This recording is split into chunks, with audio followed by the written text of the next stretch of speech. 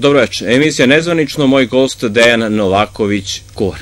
Dobro večer. Dobro večer, dobrodošli. Hvala, bolje vas našao.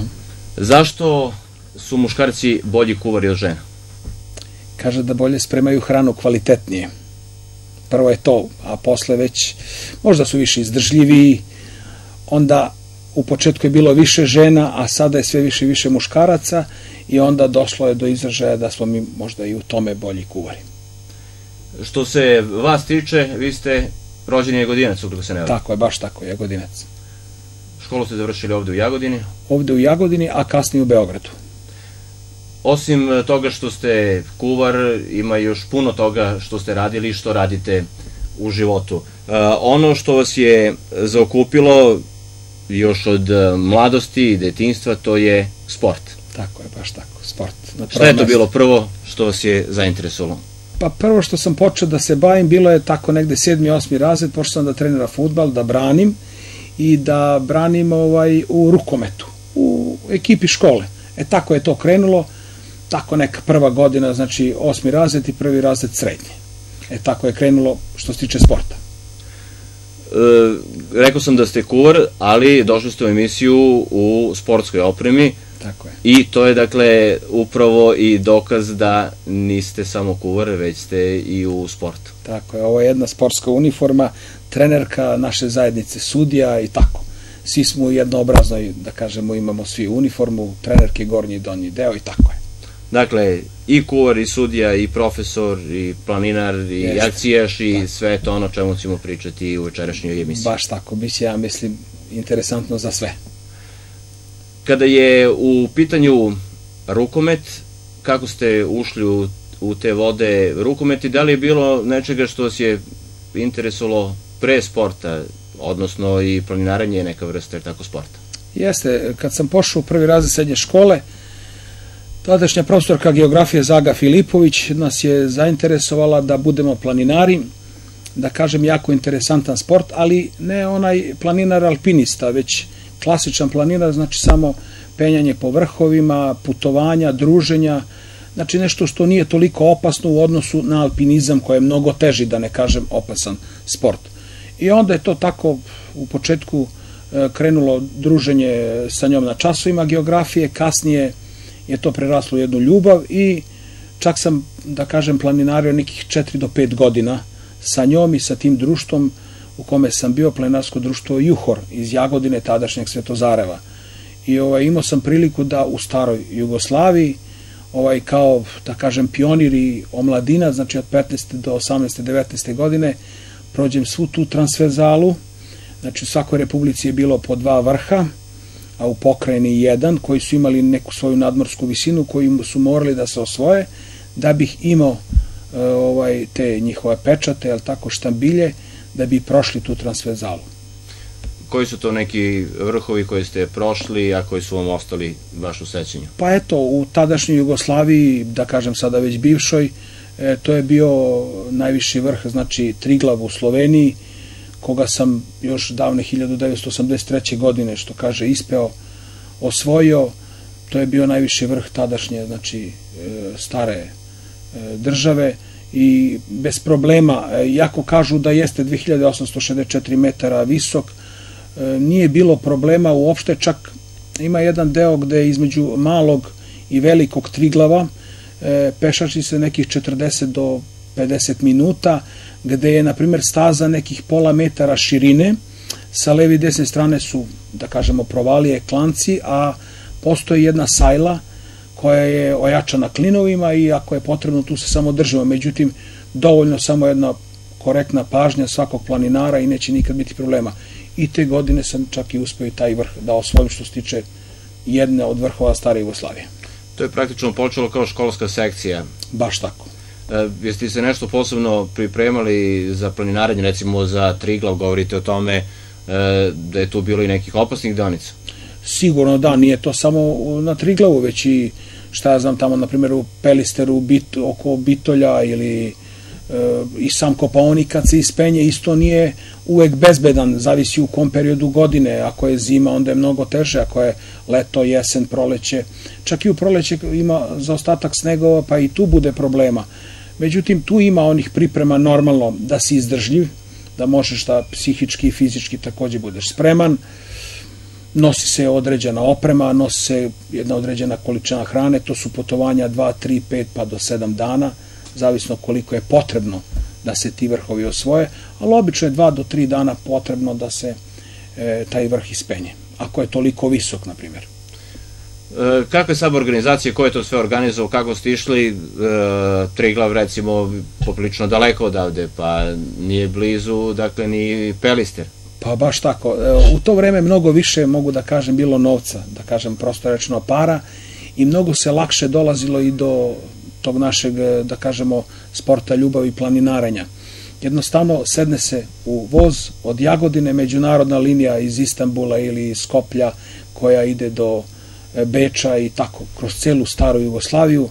Čak se i stojalo možda, a ne samo sedelo u kupeima, po pola puta se stoji u hodnicima, ali to je jedna ljubav i strast bila, neko zadovoljstvo u tim mojim godinama, 15-16 godina kad je to bilo tako. U to vreme je bilo i neka ekspanzija planinarstva u Jagodini, tadašnjem Svetozarevu i meni je stvarno bilo zadovoljstvo da budem sa tim ljudima, čak e, ja sam imao 15-16 godina, a društvo koje je pravilo e, ovaj te sastanke i to s kojima sam se ja družio, svi su bili stari od 10 do 15 godina od mene. Međutim, ja sam tu bio sa njima, oni su me tako prihvatili, da ne kažem zavoli oni mene, ja njih i onda je baš bilo pravog druženja. Ništa nešto posebno, putovalo se znači nekada i kombijem, nekad autobusom, kolima vrlo redko u to vreme, voz je nekako bio najbezbedniji za to jer stvarno je bilo tih međunarodnih linija koji su svi prolazili kroz Jagodinu. Šta je ono što je vama bilo posebno interesantno? Šta je to bilo što vas je vuklo da se bavite planinarenjem? Šta je to što vam se što se kaže, dešava tokom planinarenja? Pa eto, to su druženja, znači, prvenstveno, e, mešovitog društva je uvek bilo, znači, tako da e, na prvom mestu to, zatim e, e, osvajanje tih vrhova, to je bilo posebno zadovoljstvo. E, maltene nije bitna visina, važno da se dođe do tog vrha, tamo postoji, da kažemo, kućica ili mesto gde postoji taj štambilj, E, on je obično od nekog metala, vezan nekim lancem, katancem, da to ne može da se skine. I ovaj tu smo te pečate u našim knjižicama stavljali, to je slupali, al tako, i osvajanjem tih vrhova ispunio si neki možda svoj san e, dečački ili zavisi kad je ko to počeo time da se bavi. Pored tog druženja e, spavalo se i u šatorima i u planinskim, planinarskim kućicama, onda sama ishrana, druženje u tim putovanjem, upoznavanje drugih ljudi, drugih e, nacija, znači e, nešto što je možda bilo i u to vreme još interesantnije nego danas. Ishrana? Ishrana.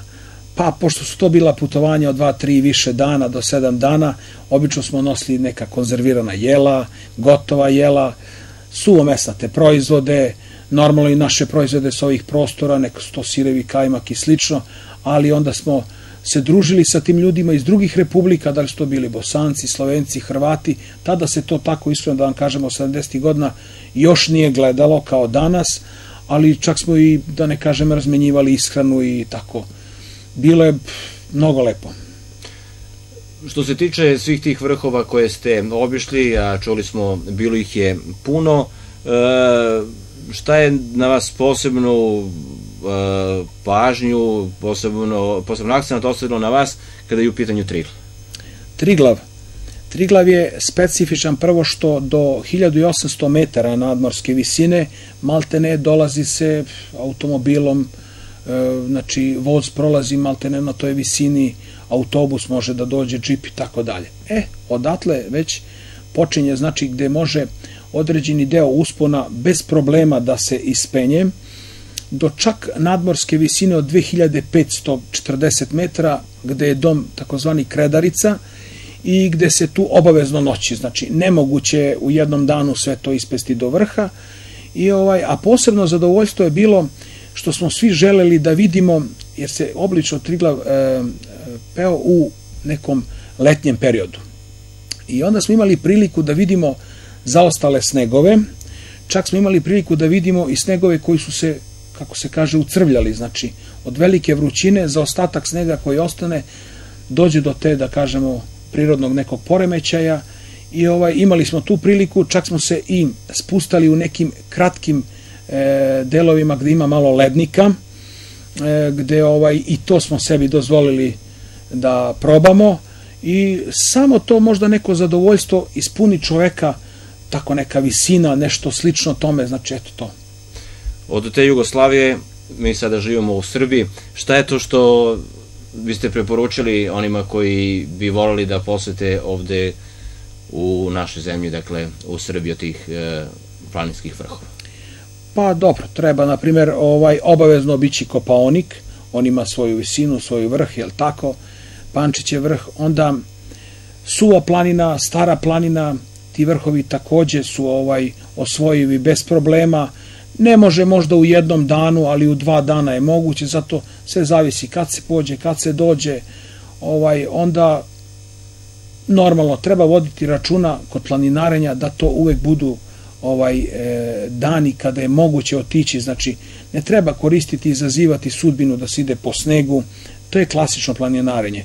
E sad, ako dođe do padanja kiše, ne, nekih nepogoda, vetra i tako, treba se skloniti, zakloniti, znači tu su te kućice, čak na nekim delovima putovanja imali smo prilike kad smo na ovaj Kosovu bili na vrhu Prokletija Đeravica 2600 metara nadmorska visina gde smo bili u prilici da moramo da prenoćimo u Bačijama kod Albanaca koji su čuvali stoku u tom delu gde su imali svoju decu, gde je bila cela porodica, pa tu prenoćimo, pa onda se hranimo sa njima dan, dva, ne možemo loše vreme i to je neko zadovoljstvo, znači, eto tako. I tamo niste imali nikakvih problema, ne, kao nikada. ni na Triglavu. Nikada, kao ni nigde u nisam. čitavoj bivšoj Jugoslaviji. Baš tako, čak i e, imao sam priliku da osvojim jedan od vrhova Balkana, najviši vrh je Musala u Bugarskoj, koji je visok 1000, 2925 metara i tamo smo primljeni kao da nismo iz Srbije ili ondašnje Jugoslavije, čak e, cela Jugoslavija bila poznata u svetu i onda smo bili svuda baš dobro primljeni. Dakle, to je bio uh, jedan... Uh, početak, početak sportskog dela. Sportskog dela. Uh, zbog čega ostavljate planinarenje s obzirom da ste rekli velika ljubav koja je trajala tako 4-5 godina? Tako je. U vreme bavljanja planinarenjem već sam bio počeo ovo malo sportom, futbal i rukomet i onda sam se zainteresovao za e, poziv rukometnog sudije. Sasvim slučajno, 1982. godine sam imao ni manje ni više 16 godina i tada sam položio za e, zvanje rukometnog sudije, tada je to bila i sada je kao druga kategorija, i tada sam bio najmlađi rukometni sudija u staroj Jugoslaviji. E, I tada je bilo koji sada je nemoguće suditi e, ispod 18 godina, međutim, sticem nekih okolnosti, možda ne bi ni sada znao da objasnim zašto, položio sam, počeo sam da sudim i to je tako krenuo moj ovaj e, rukometni vek rukometnog sudije, gde sam ostao do granica koje su tada sticem okolnosti presečene da sa 43 godina se prestaje da bude rukometni sudija i sudio sam 27 godina i preko 2000 utakmica znači sam ja odsudio za taj moj rukometni vek suđenja. Sada šta radite? U rukometu? Sada, u rukometu sam sada kontrolor, već peta takmičarska sezona, sada sam na listi prve lige Srbije, znači i kod muškaraca i kod devojaka. E, ovog proleća sam imao priliku da čak vodim i e, kontrole sudijama na Superligi kod žena i ovaj i bio sam kontrolor u mini ligi za ulazak e, za Superligu. Sa 16 godina ste dakle krenuli da sudite. E, kako je došlo do te želje kako se uopšte sve to poklopilo da krenete sa suđenjem. Obično su to neke godine kada svi pokušavaju još uvijek da igraju. Tako ja sam sasvim slučajno dok sam igrao futbal, ti godinu dana, dva trenirao, branio, da tako kažem, i, ovaj, i rukomet malo u školi, gledao sam upravo druge sudije kako sude futbal ili rukomet i tako sam počeo da gajim neku ljubav prema tome, pa sam onda zaključio da mi je možda teže biti u futbalu, da li biti pomoćnik ili biti glavni sudija, dok u rukometu da li je zato što je kraći teren, pa možda eto tako lakše je i to, ali sasvim slučajno sam krenuo u tim vodama, položio i tako se krenulo. Znači, jednostavno stvorila se neka ljubav prema toj rukometnoj lopti, prema toj pištaljci rukometnoj, to je to. Dakle, najmlađi rukometni sudija Tako, u onoj Jugoslaviji, u staroj 22 Jugoslaviji. miliona i kusur Baš stanovnika. tako, baš. To mi je bilo zadovoljstvo, bilo i u novinama izlazilo i, e, i tada sam čak i gostovao u Radio Jagodini i tako. Bilo je tako što jeste, jeste. Dakle, to je bilo jedno veliko iznenađenje, je tako za sve. Jeste.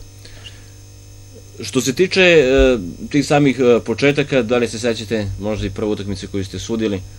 Da, pa eto, prva utakmica je bila, na primer, pionirska utakmica, jer smo svi kretali od najnižeg stepena takmičenja, to su znači pioniri, i sudio sam u osnovnoj školi u Ribaru. Tako da je igrala tadašnja osnovna škola Ljubiša Urošević iz Ribara i 17. oktobar iz Jagodine. I ovaj, čak interesantno možda kažu svi da posle svake utakmice bude treće poluvreme, jako je bila prva utakmica, bilo je nekog trećeg poluvremena na brzaka, što je meni to bilo iznenađenje, da doživim da se nešto popije neki sok, pojedu neki ćevapi i tako, i eto, to je tako krenula prva utakmica, prvi debi. E, to je praktično bilo školsko takmičenje Jeste. u rukometu. E, koliko je to bilo dobro kada je u, pitanje, u pitanju pronalaženje dakle, nekih novih talenta ta školska takmičenja i šta ste vi tu kao sudija već mogli da vidite? Pa kao sudija ovaj tu je prilika da i ono što se greši e, na utakmicama i u početku i kasnije e, sve što se više sude utakmice mnogo je lakše za napredovanje kasnije kod svakog sudije. Prvo e, ne može sigurno niko da zna e, ni u početku, a i do kraja života uči se. Tako da tu pored nas sudija koji moramo da naučimo, vidimo i mlade talente u rukometu. Pa onda se desi da vidimo na sledećoj utakmici nekog trenera koji pita nas kako igra ovaj igrač, ova igračica, pa onda mu se to prenese, pa ga on uzme možda u svoju ekipu, dovede i onda tu se stvaraju talenti i kod dečaka i kod devojčica za dalji napredak u rukometu, a i kod nas sudija. E, dešava se da igrači isto kasnije polažu za sudije jer shvate da pored bavljanja rukometa mogu i ovo uzgled da bude kao jedan fin hobi. Dakle, vi se uh, ozbiljnije rukometom niste bavili, jer tako? Da, nisam nisam imao ni vremena jer sam veoma Sa mlad, sa 16 16 godina godina da položio, sudite. što je danas možda deca počinju da treniraju i sa 10, 12, 13, 14 ovaj godina. E, ranije to nije tako bilo, možda je sa 14, 15 kretalo prve. Ja nisam imao priliku tu jer sam odmah pošao te rukometne vode kao sudija. I niste se pokajali. Nisam, nisam sigurno. E, šta se dalje dešava sa vašom karijerom, e, s obzirom da ste paralelno sa suđenjem, je tako, morali da idete i u školu? Tako je. Pa ništa, dok je bila srednja škola, ovaj, čak sam imao priliku sijaset puta, da tako kažemo, školsko, škola traje od septembra do juna, je tako? 1. septembar do sredine juna, međutim, kad je bilo tokom e, utakmica tokom nedelje, preko nedelje, utorak, sreda, četvrtak, e, pustali su me profesori, znači, ovaj, tako da i dan danas ja koji radim u školi dozvoljavam učenicima da odu na neke njihove utakmice, jer znam kako su mene pustali profesori, jer to je bilo samo neke dve, dve i po godine dok se nije završila srednja škola. Posle moje školovanje je drugačije nastavljeno, uz rad, tako da, eto, kroz školu, znači, sam imao prilike da mi se dozvoli da odem da odsudim utakmicu i tako. Kada ste definitivno ozbiljno ušli u te rukometne vode kada je u pitanju suđenje, kada ste počeli da sudite one veće zvanične utakmice? E, ovako, posle, znači, od 82. godine do 84. godine, te dve godine normalno bilo osuđeno, osim pionirske lige, opštinska liga, tadašnjeg Svetozareva, sadašnje Jagodine, i e, počelo je da se sudi regionalna liga Šumadi i Pomoravlja. I od 84. se oformila takozvana druga srpska liga, gde sam po prvi put imao svog para, sa kojim sam počeo da sudim i sudio sam naredne ovaj osam takmičarske sezone gde sam sa njim e, Oliverom Jovanovskim koji je takođe iz Jagodine, moj kolega bio u suđenju, sudio do druge lige tadašnje, znači stare Jugoslavije koje su postale samo dve. Jedna je činila e, drugu ligu e, takozvani istok, znači to je bila Srbija, Crna Gora, Makedonija i Kosovo, a druga liga e, zapad je činilo Vojvodina, Bosna i Hercegovina, Slovenija i Hrvatska.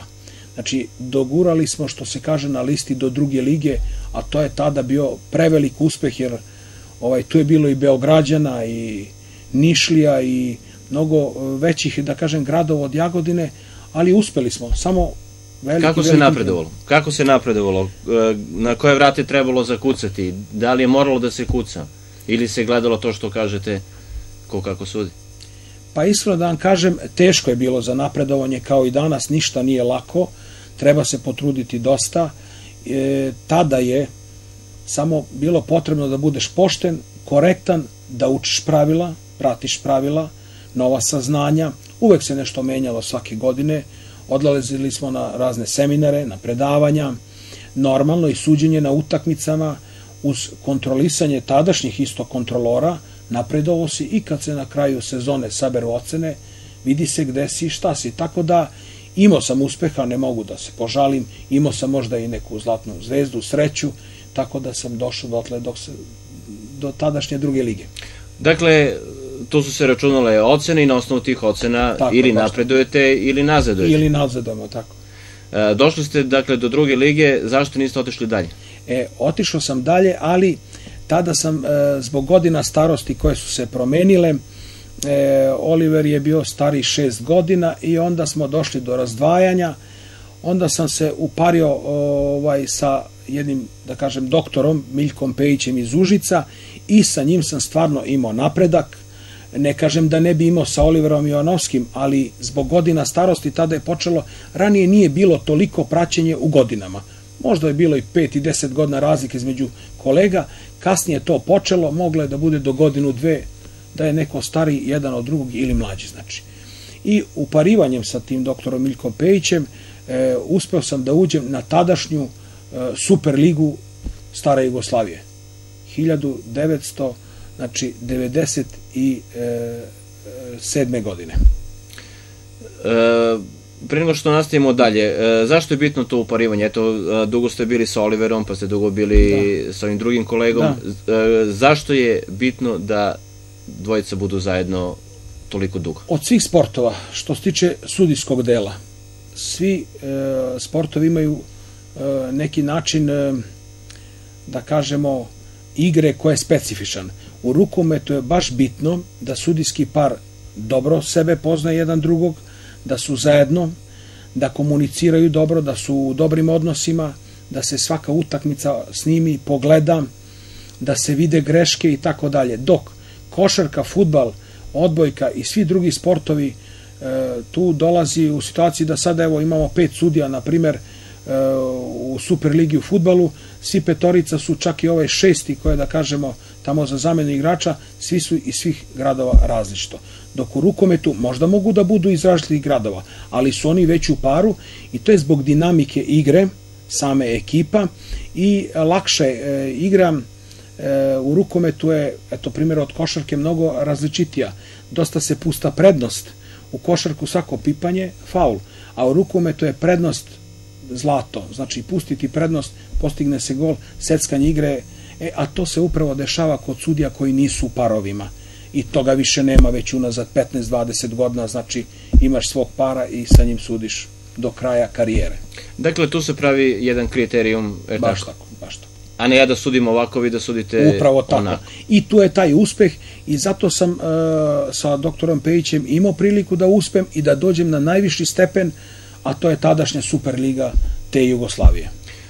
97. godina, da li se sećate te utakmice?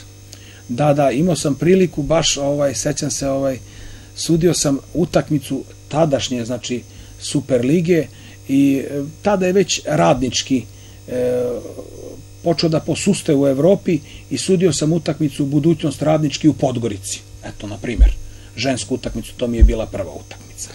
E, ima neke razlike? Pa dobro, kod ženskog rukometa je mnogo lakše, manjih faulova, nije toliko dinamična igra, e, da ne kažemo sad e, lošije, nego je ipak e, lakša utakmica kod žena odsuditi, dok kod muškaraca je mnogo, mnogo teže, na primjer. Hoćete da kažete mekše, tako kod žena? Može tako, baš tako, kod mekši, mekši sudarci, manje faulova. Ima i kod žena nekih faulova koji su možda i neobični, da se dogode, a to kod muškaraca nema. Znači, to su čisti faulovi. Dobro. su to, na primjer, neobični? Pa neobični, možda neka hvatanja, štipkanja od igračice prema igračici, dok kod muškaraca ako dođe do faula, tu je lakat ili, ne daj Bože, pesnica i onda dolazi crveni karton i to je to. Utakmica koja je baš bila gruba, koju ste sudili, da li se sećate?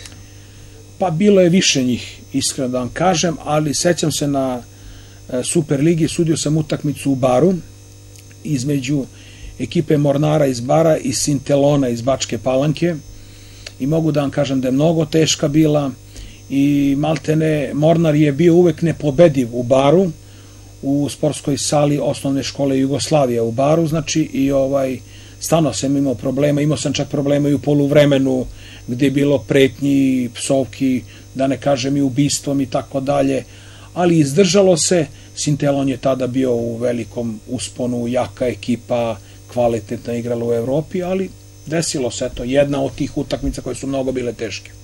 E, kako se drži takva utakmica pod kontrolom? Vrlo teško. E, prvo treba voditi računa nikog ne oštetiti, pogotovo ekipu koja gubi. Ja sam bio takav da sam volao da zaštitim gosta. Ne bukvalno da ga zaštitim, već da mu dam uslove iste kao da igra i na domaćem terenu. Normalno, to nikad nije bilo dobro za sudiju, sudijski par, jer domaćin je uvek tražio tamo neku loptu, neku liniju, a što mi ne sudiš, zašto ovo i tako dalje. Međutim, ja sam težio da budem koliko toliko pošten i uspevao sam. Zašto svi očekuju od sudija da im se sudi nešto nemoguće kada igraju kući? Ne znam zašto, to je od uvek tako bilo, znači svi traže neku pomoć, kad dođeš prvo je uvek e, početak nekih priča, da li si sudio neka tu ovome, što si me tako oštetio ovde, normalno, onaj sa klupe, trener, e, tehnički rukovodac, e, predstavnik ekipe, uvek gledaju to klubaški, normalno navijaju za svoje, ovaj suprotni tabor, druga ekipa, on gleda svoja posla, tu je sudija baš da presudi onako kako jeste, e sad, najbolje bi bilo kad bi bilo nerešeno, međutim i tada nekome možda taj rezultat ne odgovara. E sad, e, nije čovjek uvek u prilici, e, ne da sad ne kažem namesti rezultat, nego da ugodi svima kao sudija. E sad, desi se da pobedi domaćin sa 10 golova razlike. Opet može da se buni gost. Ovde si mi ovo ne dosudio, ovo ovde, ovo ovde i onda šta, zato sam ja izgubio sa 10. A još gore kad gost izgubi sa jedan ili dva razlike, onda on nađe tamo neke dve greške koje ne može sudija ni da se seti ili su toliko nebitne, međutim on smatra da si ga ti oštetio i da je došlo do tog njegovog poraza upravo zbog toga. Ima li zakulisanih radnji kada je u pitanju suđenje? Pričam konkretno o rukometu. Pa da vam kažem, ja nisam bio u tim vodama, uvek sam se trudio da to bude pošteno, ne da sad ja hoću sebe da istaknem u prvi plan. Trudio sam se i sada kad odem kao kontrolor na utakmicama, viđam stare prijatelje, ako to više nisu igrači, to su sada možda treneri, rukovodioci ekipa ili dođu kao gledaoci. Sad sam imao priliku da odem, na primjer, u Priboj, gde je došao jedan drug, Senad Abaspahić iz Pljevalja, jer je čuo ovaj da dolazim na utakmicu od ljudi iz Priboja, posedeli sat vremena posle utakmice, popili piće, ispričali se, nismo se videli deseta godina maltene od razdvajanja Crne Gore, i eto tako, znači ima sigurno tih radnji, ali ovaj ne mogu da kažem ko šta kako radi, znam za sebe da sam u tom delu stvarno bio maksimalno korektan i pošten. U svakom slučaju sudije su sastavni deo igre. E tako, ako greše igrači mogu da greši pa, sudije. Zašto ne bi ni sudije? Ovaj promaši sedmerac, promaši zicer, pogodi prečku, pa i ako sudija svirao ili nije svirao nešto, ne daj Bože, korake ili nešto što je vidljivo, pa neka tamo sitnica, da li je bila noga iznad kolena koja se ne sudi ili noga ispod kolena koja se sudi, to je sad diskutabilno, to je trenutak procene, stoti deo sekunde, pa kako bude. Znači, greške su naravno moguće, Normalno, kao i u svakom za sve ljude. Što se tiče e, tih dešavanja na utakmicama, dakle, te utakmice visokog naboja, kako bi Jeste, se reklo. Rizika. I rizika, e, šta se sve tu dešava? Eto, rekli ste, imali ste i opasne pretnje, je tako?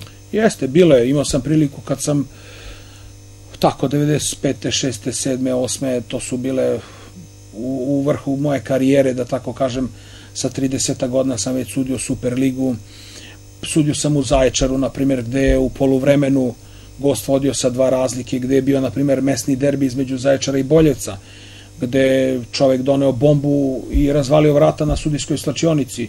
Znači, tražio je pobedu kako tako ovaj, e, svoje ekipe domaćina, desilo se to. Ušao je kod vas u slučajnicu? Ušao je kod nas, probio vrata, polomio vrata, jednostavno pretio tu preblede. Ušao sa bombom, je tako? Baš tako, držao u ruci. Da li ona bila prava ili nije, ja nisam smeo to ni da ga pitam. Te Novine su to, nisam proveravao, novine su to pisale. Kasnije, e, do kraja utakmice, mi smo odsudili kako smo odsudili. Zaječar je pobedio jedan razlike na jedvite jade, da ne kažem da je golman Boljevca u zadnjih 10 sekundi odbranjenu loptu pustio odgurno rukom da uđe, da bi možda i sebe spasli i svoje igrače. Kasnije mi smo poslali jedan izveštaj i ovaj ta utakmica je poništena jer desilo se da je bilo pritisaka ogromnih igrači su vređani od strane domaće ekipe, publike i tako dalje. Desile su se tu i neke druge radnje, da ne širimo priču, i gde je gost dobio 10-0, na primjer, jer smo mi dokumentovali sve to što se desilo. Normalno bilo je tu suočavanja, pa je to tada išlo na sednice Rukomet Saveza Jugoslavije i tako dalje, gde i dan danas imam te papire. Prvo smo bili svi suspendovani, i službena lica i sve, a kasnije u narednih 15 dana putem žalbi i sastanaka dokazali smo da smo bili, što se kaže, čisti i eto jedna od utakmica i ta bila. A zašto ste bili suspendovani? Pa to je normalno, e, domaća ekipa da svoju izjavu, mi damo svoju, gost svoju, e onda... A kontrolor? E, a kontrolor i on je bio suspendovan tada i svi smo bili na neki način pod, pod tom prismotrom šta će biti dalje, e onda na suočenju svako je rekao svoje i dokazalo se da smo mi tad bili u pravu, da Boljevac je tada bio možda trenutno jača ekipa, rivalitet komšija na 30 km je učinio, Zaječar je tada bio čuveni kristal, bio je mnogo jači, eto, desila se i ta situacija. To su dakle pretnje. E, da. da. da li je bilo negde i nekih ponuda? Uh, kako da ne. Bilo je, ranije bilo dosta suđenja po Kosovu, pogotovo, pogotovo sudije iz Srbije, taj deo je dosta odlazio po Kosovu, jer e, nije bilo puno sudijskih parova e, sa teritorije pokrajine tadašnje Kosova. I ovaj, imao sam priliku, na primjer, kad me već pitate, u Prištini, gde sam e, sudio utakmicu sa Oliverom ovaj, između Prištine i Vlaznimi iz Đakovice u onoj velikoj dvorani Hale Boro i Ramiz u Prištini, gde 6-7 hiljada ljudi u Prištini, da, ali Boro i Ramiz se zvala hala i ovo i ovaj i desilo se da je bilo ponuda raznih, da tako kažemo, kalkulacija da to Priština dobije jer trebala da ispadne iz lige. Međutim, mi smo bili nezainteresovani, odemo da odradimo naš posao i to je čak e, druga sezona bila na toj drugoj e, ligi istok stare Jugoslavije. I ovaj mi u poluvremenu 10 minuta imamo pauzu, odemo da se malo osvežimo, voda, ovo ono, i slučajno otvorimo torbe, ja pa kolega i nađemo zatvorene kovrete plave. Ne znam ni dan dana šta je bilo u njima, znam da to moje nije. Pozvao sam tadašnjeg predstavnika ekipe, on je bio i predstavnik kluba, nebitno je sad ime i prezime, ovaj, samo smo mu dali, on je rekao pa to je za vas, ovaj, ne tražim ništa više od vas, samo ovako neka bude. Na kraju je te utakmice Vlaznimi pobedio sa jedan razlike, Priština ispala iz lige, moj obraz je ostao čist, ne znam ni dan dana šta je bilo, verovatno je bilo novca, sigurno tada su bile marke još možda stotina ili hiljada neka evra, ne znam, par hiljada evra, pardon, maraka u to vreme sadašnjih evra, eto tako. Šta je to što ko čoveka, e, što se kaže, e, presudi da to tako odbaci? Pa to polazi verovatno od porodice, od kuće, jednostavno tako sam vaspitavan, i ovaj, šta će mi nešto što je tuđe, taj novac koji bi ja uzeo da je neči, verovatno je neko to mora da radi za to. Ili je to možda uzeto od hranarine igrača, ili od nekog putnog troška, ili od neke dnevnice. Što će to meni? Ja sam tamo imao svoju taksu, svoju dnevnicu, putni trošak, za što sam ja kvalifikovan i to sam radio i to je to. Dakle, oni koji to rade, eventualno ako rade, to su je tako poneli od kuće. Pa verovatno, domaće vaspitanje. Mada ne mora uvek da znači, možda taj e, koji se time bavi nečasnim nekim radnjama, možda kasnije od kuće je ponao dobro vaspitanje, ali kasnije se možda iskvario. Dakle, takvih situacija je bilo. Bilo je. E, da li je bilo još neka možda? Bilo je još, bilo je ponuda i da se ode na more, na planinu i šta ja znam, e, da se dobije možda neki deo nameštaja ili od elektrike i tome slično. Bilo je, ne mogu da kažem da nije, ali jednostavno ostao sam dosledan. Znam za sve moje kolege sa kojima sam sudio da nije stvarno ničega bilo, bar koliko se ja sećam. Možda je neko nešto izlupotrebio, ali ja za to do dan danas nisam saznao. Kao što se to desi da kolege kad završe karijeru, kasnije saznaju posle godinu dve da je neko neko kolegu izradio, uzeo i tako dalje. Dakle, i to se desi. Mi radimo u paru, ja uzmem novac, vi ne znate, pa da. se čudite šta sudim. Ovog će da tuku, a ovaj ništa njega niko ne dira, jer navlačuje tamo rezultat, a ovaj svira pošteno i onda se desi situacija da možda njega izudaraju ili nešto slično. A zašto se dođe u tu situaciju uh, da su sudije nekada s razlogom, nekada i bez razloga, dakle, na meti ne samo navijača, nego i igrača. Imali, imali načina da do toga ne dođe? Pa mogu da vam kažem da sada sve više i više je E, velikih disciplinskih kazni. E, kako na, da kažem, po utakmicama ili na mesečnom periodu da bude kažen da ne igra mesec dana, ili čak novčanih. Sada jedan crveni karton na nekim ligama, zavisi dalje prva ili super liga, od 15 do 30 hiljada. I sada ako to treba igrač da napravi, namerno, znači da se s nekim potuče, vređa, psuje i tako dalje, ovaj, onda mu se to ne isplati, jer će verovatno to klub morati da plati, biće suspendovan, a odbit ćemo se plata, onda taj mesec će igrati besplatno, je li tako? A to je danas, kako je sve došlo do novca, više toga nema. Bude incidenata sigurno, dešava se, ali mogu da vam kažem da sve manje i manje, jer rukomet je jedna dinamična igra, nema tu nekih kalkulacija i kad je pasivna igra, sudija podigne znak za pasivnu igru i zna se da u roku od desetak sekundi lopta mora da se preda i onda e, više nema toliko tih prekršaja da bi bilo. Bude, bude i namernih sigurno saplitanja, udaranja, vređanja, jer se nikad ne zna šta oni jedan između drugog, da ne kažem opsu ili vređaju jedan drugog, ali ako se čuje, tu su sudije da to sankcionišu i to je to. E, što se tiče e, same igre i grubosti na terenu, e, da li su igrači svesni ti grubosti koje čine ili sve tu žaru borbe?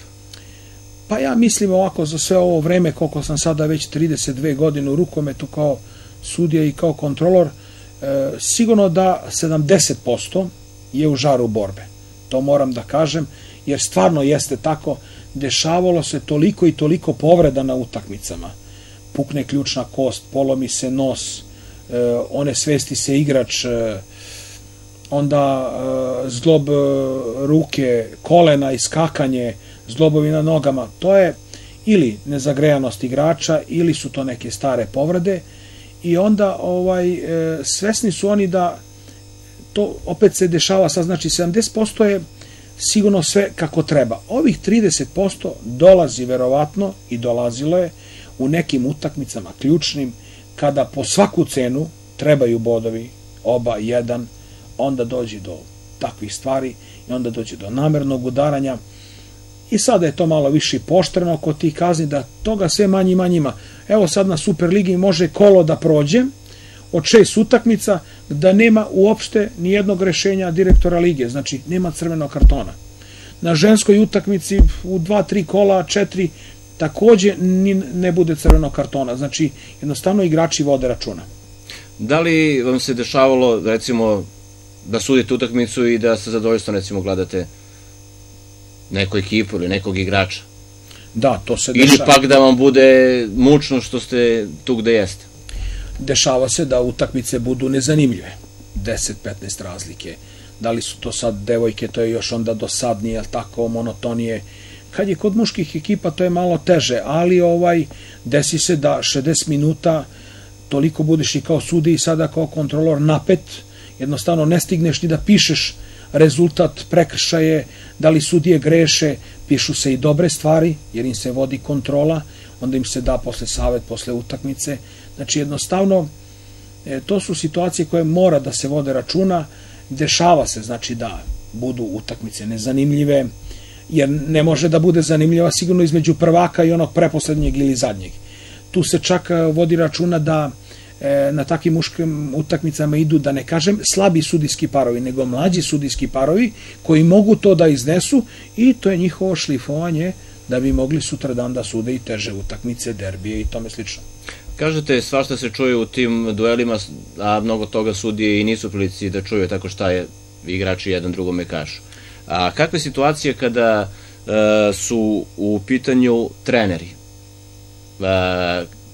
da li može sudija da reaguje ili ne može e, da reaguje kada se recimo na nedoličan način ponaša trener? Pa evo, na I to prema, recimo, svojim igračicama ili igračima. Da, treba ga sankcionisati, znači treba mu dati primerenu kaznu, počinje se od žutog kartona, to je opomene, kasnije mu sledi kazna od dva minuta, on dobija dva minuta, nedužna igračica ili koju on odredi, e, izlazi na dva minuta da odradi kaznu i posle sleduje crveni karton, to je diskvalifikacija. E sad, dešava se da vređa svoje igračice ili igrače, ko zna zašta, da li je to nešto netrpeljivost od ranije ili za neke svoje pogreške tih igrača koji naprave u toku utakmice, jer se desi, nemoguće ni on 60 minuta da odigra, e, to je ipak e, ljudski jedan život koji i on ima do određenog perioda snagu, znači da izdrži, mora da ga se povuče na klupu. Ranije, do pre tri godine, nije postojala takozvana trenerska zona. E, od 2010. trenerska zona je uvedena i sada trener, tačno zna se do jedne linije do koje moje, može da dođe blizu zapisničkog stola, kako onaj sa leve, tako i ovaj sa desne strane. Tu je delegat ili kontrolor da ga upozore ako to on krši. Desi se da to rade treneri nesvesno, da uđu u teren za korak jedan, pa se vrati, pa ovo, pa ono. Međutim, ako on to stalno radi, onda se pozovu sudije ili sudija to sam primeti da time out i jednostavno ne dozvoljava mu se da to više radi. Ako on to nastavi dalje, postoje te sankcije. Opomena, dva minuta i diskvalifikacija. Ima to koji treneri namerno rade, vrše pritisak na sudije, to to se dešava maltene na svakoj, svakoj drugoj utakmici. Ima trenera koji su tako mirni, vode utakmicu, ne uzmu ni taj za svoju ekipu. Takvog su duha, na primjer. E, govorili ste i o tom e, vremenu, recimo, kada su, ne znam, nudili e, sve i svašta. Da. E, kad kažem sve i svašta, mislim na te poklone, novac i tako dalje. U to vreme kako je moglo da se živi, recimo, od suđenja? Da li, to, da li je to bio i neki novac koji je zadovoljavao neke vaše potrebe, pa, na primjer, niste imali potrebe za nečim drugim? Pa iskreno da vam kažem, taj novac jeste mnogo više vredeo nego sada. E, ne kažem da sada ne vredi, ali vredi i danas. Ovaj, ko je imao takav hobi, da kažemo, ljubav prema tom suđenju, eto, kao što sam ja imao u rukometu, imao sam sebi od tog novca da priuštim e, mnogo više nego onaj ko to nije imao, što je i to logično. Dalje, mogao sam da odem na zimovanje, na letovanje, što sam ja to sebi, je tako? I priuštio. I priuštio. Ranije kao sam, što se kaže, u vreme svoje mladosti, a kasnije to priuštio svojoj porodici, e, što je i nešto normalno. Normalno bilo je tu i trošenja novca, takođe imamo i mi neke naše obaveze tokom godine, da posećemo dva puta godišnje seminare, ako ih ne posetiš i ne slušaš predavanja, nećeš moći da sudiš i budeš kontrolor. Onda imamo u zadnjih 6-7 godina kampove, gde moramo da budemo 5 do 7 dana na kampovima i takođe slušamo predavanja, edukacije, isto to košta. Znači, to nisi dao iz svog džepa, ako mogu tako prosto da kažem, ali e, jednostavno i taj ti novac. Tako da, ovaj, sigurno da mi koji smo se bavili tim pozivom i koji se sada bavimo, smo u boljoj situaciji nego onaj ko nema e, neki svoj normalan posao ili dodatni. Normalno, nemoguće je samo se od toga živjeti, čak nemoguće je i ovi profesionalci, e, da kažem, e, koji sude EHF federaciju, IHF, znači Evropsku i Svetsku federaciju i oni sude e, ligu šampiona, kupove i tako dalje, ali opet mora pored toga, to je opet za jedan određeni period. Kad se dođe do tog kraja, onda toga više nema. E, zato mora da, pored suđenja, Morate da imati zanimanje. Tako, neko svoje zanimanje koje bi uzgled ovo dopunjavalo. U svakom slučaju lepo zvuče, tako čuli smo zimovanje, letovanje, tako Sigurno. lepo je bilo da se dopuni kućni budžet, Tako. ali ima i ona druga strana medalje koja se zove, dakle, vikendom nikada niste kući. Tačno, i to je tačno. Znači, da li je to subota ili nedelja, ili je to preko nedelje kad je neko vanredno kolo, ili neko odlaganje neke utakmice, pa da li je to sad ponedljak ili neki drugi dan, sve jedno. Jedan od e, dana u nedelja, to je znači vikend, uvek nisam kod kuće i to je sada dok si, da kažem, ono u mladosti bio, sam pa se to na neki način drugačije prebrodi. Sada kada već imate porodicu, tu su deca, supruga, normalno, oni imaju to što im se priušti od strane mene, ali u jednom intervalu u toku dana dok sam odsutan kući nisam. Znači, treba izdržati takav problem. Da li vi možete da izdržite, dakle, toliko godina vikendom niste kući? Pa eto, to je jedna stvar navike, znači to je period septembar do decembar i tamo od februara do kraja maja, početka juna. Znači to je neki period koji jednostavno e, navikao sam i to tako ide bez problema. Čeka se samo period kada dolazi novi, kada se završava ovaj e, krajnji deo u decembru i tako dalje i tako dalje bez problema znači izdržava se evo koja je to već godina po redu 32. E, sada ste kontrolor, Jeste da. koliko smo rekli godina? E, Ste kontrolor? peta sezona znači Peta sezona. takmičarska. Peta takmičarska sezona. E, kako sada gledate na sudije? Pa trudim se da im pomognem maksimalno. E, delegati koji su na utakmicama, to su ljudi iz klubova i nisu bili sudije. I oni vrlo malo mogu da im pomognu sa te strane. Znači jednostavno dođu odrade neki svoj posao. Dok kontrolori, to su bivše sudije i mi se trudimo da im ukažemo na greške na prvom mestu, pogotovo kada su to mlađi sudijski parovi. Evo sad sam u zadnja dva vikenda imao priliku da putujem na ženske utakmice i da parovi budu ženski parovi, znači. Jedan iz Čačka, jedan iz Kraljeva. E, baš sam im ukazao, to su mladi parovi, mlade devojke koje tek sude 3-4 sezone, znači grešaka ima puno, nenamernih sigurno, tu smo da to promenimo, uvek to prihvate u korektnom razgovoru, to se napiše u kontroli. E, trudim se da više dam nego što zasluže, jer e, treba im dati e, elan, snagu neku. Lako ćemo mi sada da ih ocenimo, to se tamo ocenjuju bodovima, i da li si mu dao 74 ili 5 ili 78 ili mu dao 68. Primer radi za vaše potrebe. Ne poznate tu strukturu rada pa nije ni bitno, ali hoću da vam kažem, e, treba mu pomoći. Dati mu Nekog stimulansa. pa stimulansa, nije on sad tu kriv, ne može ni on sve odjednom da nauči. Teško je, nekome treba 5-6 godina da dođe do nekog, ne vrhunca, nego da bude sudija kvalitetniji, a do samog vrha treba i 10 godina nekada proći. I vama se sigurno dešavalo da posle utakmice kažete, au, ali sam pogrešio ovde. Jeste, desi sam se. pogrešio I sada uđem kod sudija u slačionici i ja im kažem, počinje priča, kaže, jeste, sećamo se, bilo je to u tom minutu. Ja sam to već zapisao, zato sam i plaćeno lice da tamo budem. Mnogo je lakše, kao kontrolor, da se razumemo, nego kao sudija. U momentu on mora da donese odluku, jel tako? U rukometu nema challenge nema ničega, snimaka i ovaj, a ti si tu sad da pribeležiš to i onda o tom potom, ako ima snimak sa utakmice, ne daj Bože da se žali neka ekipa, onda to se odgleda, mora da se napiše ono što jeste, jer i onda i ti možeš kao kontrolor da snosiš sankcije ako nisi odradio svoj posao kako treba valjano. E, Da li je ostao žal za nečim kada je u pitanju suđenje?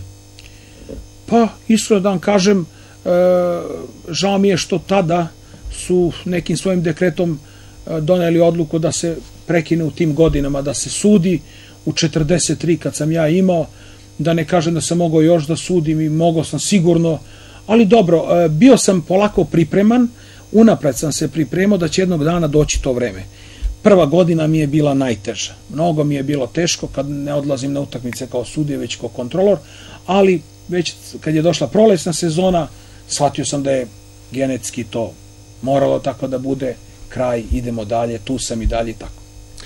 Što se tiče samog suđenja, koliko su se stvari promenile od onih vaših prvih koraka pa do danas? Rukomet, jer tako, je otišao dalje. Jeste. Da li suđenje prati? Jeste, rukomet je otišao, mnogo, mnogo dalje, velika ekspanzija rukometa, evo sada unazad dve, tri godine koja se se ovde prvenstvo organizuju kod nas, takođe i suđenje otišlo u sami vrh. Mi imamo jedan sudijski par koji je prvi na listi Svetske federacije i Evropske federacije, znači sva su njihova svetska prvenstva, evropska prvenstva, pogotovo muška, olimpijske igre, edukacija je vrlo bitna ranije, pred 20-25 godina, dovoljno je da jedan od sudija u paru govorio engleski polovično. Sada ne može niko da bude međunarodni rukometni sudija EHF ili IHF federacije ako ne zna tečno da govori jezik.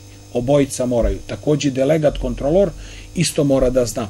Znači, jednostavno, seminari postoje, sedište EHF federacije u Beču, jednostavno, odlazi se tamo, postoji njihov lektor iz federacije, razgovara sa sudijama, to su takva, pričali su mi iskustva ove mlađe sudije koje su unazad par godina polagale za EHF i IHF kategoriju, e, ako te osete da ne poznaš dobro engleski jezik, to su takva pitanja njihova, ne da ih vređaju, već jednostavno malte ne počinju sa omalovažavanjem. Šta si došao tu da tražiš ako ne znaš da govoriš engleski?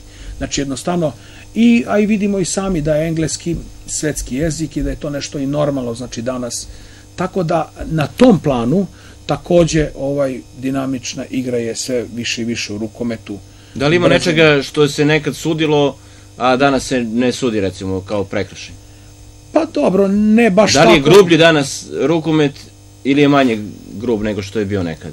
Pa možda je ranije bio grublji zato što se dosta igralo na otvorenim terenima. Znači 70. godina, 80. godina, da ne govorimo kad se igrala uh, kad se rukomet igrao na otvorenim terenima, futbalskim igralištima 30. 40. 50. godina, dok nisu bila normalna ova igrešta 40 puta 20. Ovaj, I normalno da je tada bilo i većih povreda, startova, oštrih i tako dalje. Danas je to ili na parketu ili na tartan podu, znači to se sada namesti, Liga šampiona mora na tartan podu da se igra i kraj, to se namesti za 3-4 sata u dvorani preko parketa i to je to. Tako da manje ima tih povreda, a inače sve što se sudlo ranije sudi se i sada, samo je možda sada strožije. Ranije se možda i pustale neke stvari i drugačije, sada je to malo pooštrenije i možda i bolje za napredak rukometa i suđenja. E, šta je to što vi volite da pogledate, koje su to reprezentacije, timovi, igrači koje da to danas vi volite da gledate, bilo da su naši, bilo da su jer tako iz inostranstva sada je, ukoliko se ne varam, tako recimo muška liga Nemačka izuzetno jaka. Jeste. Volimo, znači svi gledamo tu mušku ligu Nemačku, jer tamo su maltene njihove utakmice nebitno da li igra prvi i poslednji, može da se desi da taj poslednji pobedi 7-2 razlike.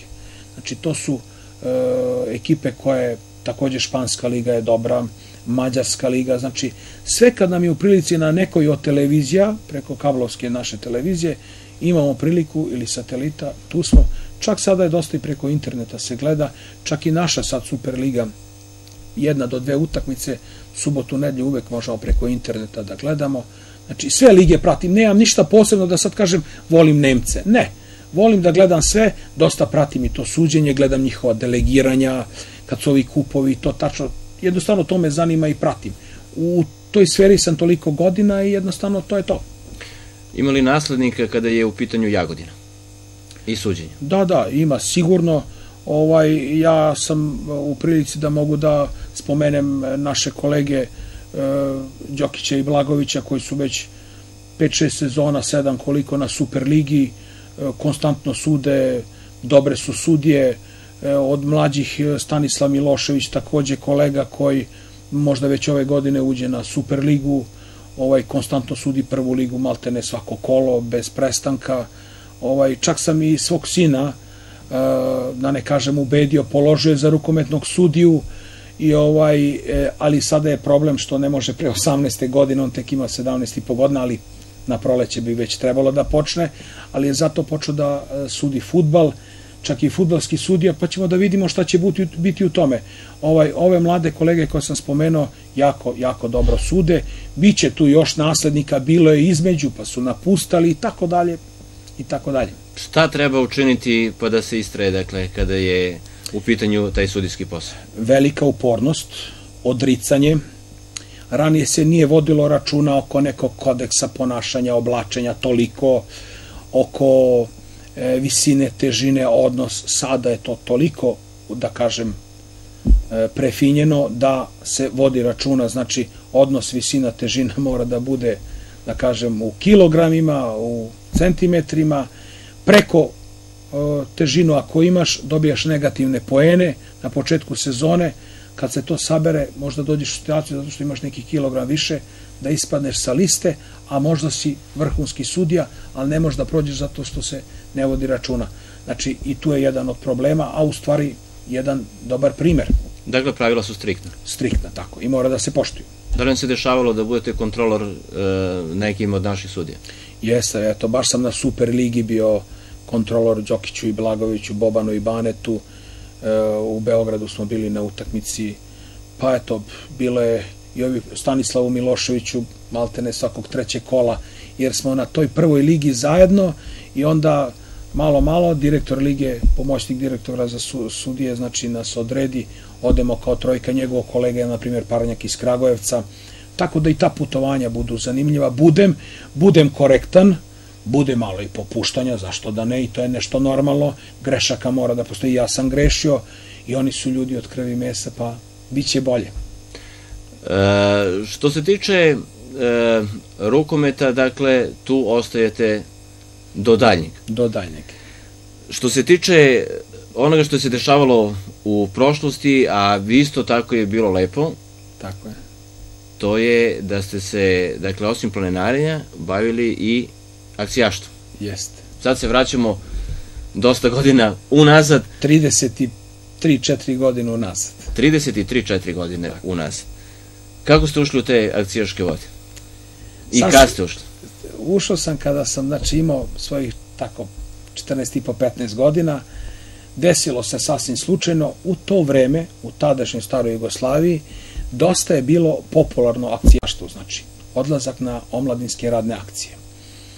E, one su postojale još, da kažemo, posle rata. Čak i bilo nekih akcija za vreme rata 43. 4. i 5. kada su se sekla drva i slično. Međutim, posle rata su počele prve radne akcije od 45. 6. ali to je bilo toliko teško tih akcija i to se pomagala ona stara Jugoslavija kad su se sekla drva, pravili putevi, to je bilo uh, više neki, da ne kažemo prinudni rad, nego jednostavno obnova države. I to je sve to do početka 50. godina. Početkom 50. godina počele su da se prave tako neke saobraćajnice, putevi, fabrike, fabrika kablova naša, stara u Jagodini izgrađena od akcijaša 50. godina. E, već 60. godina počinje da bude mnogo bolje na akcijama. Počinju da budu kvalitetnija naselja, smešta i ishrana i počinju da se prave, prave hidroelektrane i tako dalje, i tako dalje, mostovi i slično putevi. 70. godina uveliko ekspanzija, znači kod akcijaštva, e, čak je i 70. godina napravljena čuvena pruga Beograd-Bar. Znači, akcijaši su je pravili u celoj dužini. Normalno, radile su tu i radne organizacije tadašnje, ali akcijaši su bili osnov. Početkom 80. je raj bio za radne akcije. Znači, uslovi su bili fenomenalni, e, brigadira je bilo sve više, u tadašnjoj Jagodini je bilo, tadašnjem Svetozaru, sadašnjoj Jagodini, bile su četiri brigade omladinske, gde je jedna odlazila juna, jedna jula, jedna avgusta, jedna septembra. Znači, toliko je bilo popularno da smo mi čak, 1. april je bio dan akcijaša, kretali sa lokalnim radnim akcijama gde smo sređevali korito reke Belice, e, ove naše parkove odlazili, da li je to čišćenje trave, nešto lopatom, krampom ili ovaj ašom, nije bitno, jednostavno radilo se. Ja sam prvi put otišao e, na radnu akciju Kadinjača 1981. godine. I ovaj, sasvim slučajno čulo se preko radija i ovaj, to je jedna bila brigada Dušan Petrovićane, međuopštinska brigada Šumadi i Pomoravlja. Šest opština u Pomoravlju, šest u Šumadi. Sasvim slučajno, čak sam otišao da je trebao jedan brigadir, čovjek iz e, buduće brigade je okretao Novčić, Novčić je pao na stepeniku, pao je na onu stranu koju je drugar izabrao, pao je dole još jednom i pao na moju stranu, ja sam tako sasvim slučajno krenuo i zavoleo i čak sam uspeo da budem na 13 radnih akcija do 90. godine. E, da pojasnimo ovim mlađima šta je to akcija, šta se to radilo, koliko se to plaćalo?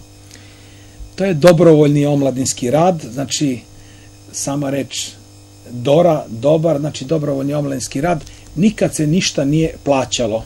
Sve smo radili besplatno. Ali, odlazak mesec dana na radnu akciju u to vreme je bio zadovoljstvo i da ne kažem san svakog pionira omladinca, pa i starih zapošljenih ljudi koji su e, dobijali plaćena odsustva iz radnih organizacija da mogu da učestvuju, jer nemoguće organ... bilo i samih pionirskih brigada, na primjer. Ali to je već u nekom domenu da to deca rade, znači pioniri. A ovo su bile mešovite brigade gde je bio određeni broj omladinaca, određeni broj pionira, pionirki i određeno e, broja ljudi zapošljenih. A obično je brigada bila od 45 do 55 ljudi. 50 je bila neka optimalna brojka. Ovaj, nikad se nije ništa naplaćivalo, radili smo dobrovoljno, odlazili su obično početkom meseca i dolazilo se kraje meseca. Znači četiri nedelje i još gore dan, dva, što kaže. Ovaj, I tada u toj Jugoslaviji postoje su teške i lepe radne akcije. Na primer, jedna od teških akcija je, na primer, Pešter, gde se pošumljavao Pešter i gde su ljudi se mučili. Onda teška akcija, primjer, radi u Loznici. I onda a, teška akcija je bila gde sam ja bio na Đerdapu, Šta ste radili tamo? Na Đerdapu se uređivo deo toka Dunava e, posle gradnje hidroelektrane. Onda se radilo na iskopinama u onoj tvrđavi Fetislam zato što su tražene kosti i tako slično tome e, ko je tu nekada živo pre ko zna koliko hiljada godina primera radi. E, ali i to je bilo na svoj način. Neko kaže tamo radiš celog dana i metlicom, pa i to je na neki način zamorno. Ovaj kaže daj mi kramp da iskopam kanal 10 metara i to je meni moja norma. Primjer radi. Ali, šta je bilo pored tog akcijašenja dobro? Znači, to druženje, poznavanje. E, obično na jednoj akciji e, dođu brigade iz svih republika.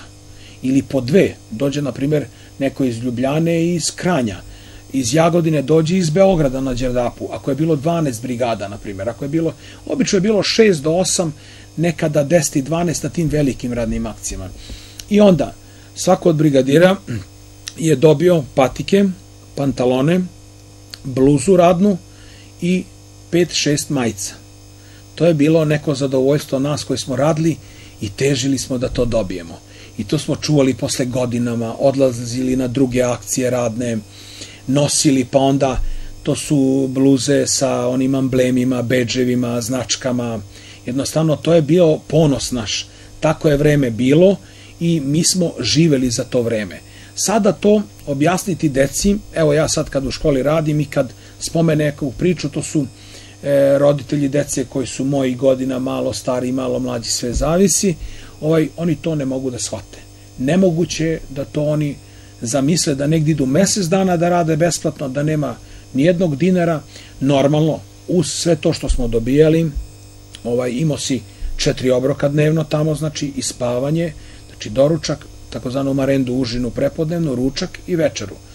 Ali ovaj to je sve bilo besplatno, to je tadašnja država tako. Ja mislim da će polako možda doći vreme kada će ponovo to posle 90. godine, kada je zadnji put organizovana omlenska radna akcija, to je već 23 godina prošlo od zadnje, možda za par godina, ili polako, polako se oformljavaju neke brigade i formiraju da a, možda ponovo krenu nekim gradovima nešto da rade, da čiste, da čeprkaju što kaže i možda dođe neko vreme, bit će mnogo teško, nema tog vremena kao što je bilo. Dakle, e, vi ste jednostavno e, radili, kako se to tada pričalo, a tako i bilo, na izgradnje zemlje, je tako? Jest, vi, ste, vi ste zemlju shvatili da je vaša i dali ste tako, tako deo sebe džabe. Baš tako, pa kako? Eto, bio sam 13 radnih akcija. 13 meseci sam ja negde proveo.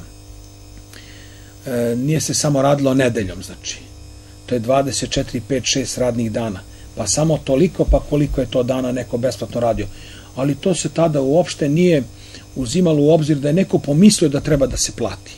Jednostavno, radili smo, na primjer, u Vukovaru na poljoprivrednim gazdinstvima Vupika u Vučedolu kod Vukovara, gde jednostavno skidali smo metvice, one metlice ili metvice kako ih ko zove, kod semenskog kukuruza.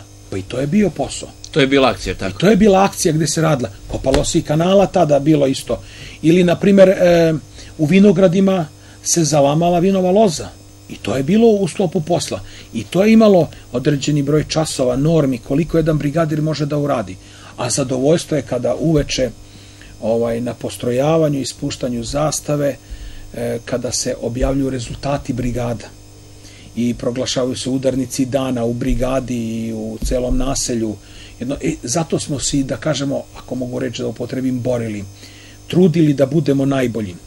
Naše brigade iz Jagodine su bile ponos za staru Jugoslaviju.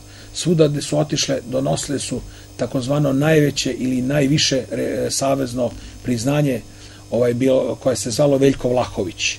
I ovaj, to su trake bile akcije gde kad si prvi od svih brigada dobiješ tu traku. Neka dobije i drugi, možda i treći, ali naše brigade su uvek dolazile sa najvišim odličima.